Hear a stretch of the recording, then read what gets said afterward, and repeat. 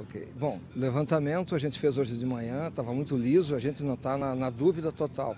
Uh, eu, eu acho que a gente vai largar com pneu de seco, a menos que venha chover de novo bastante. Se for pouca chuva, a gente vai optar por andar com pneu de, de seco em função da resistência.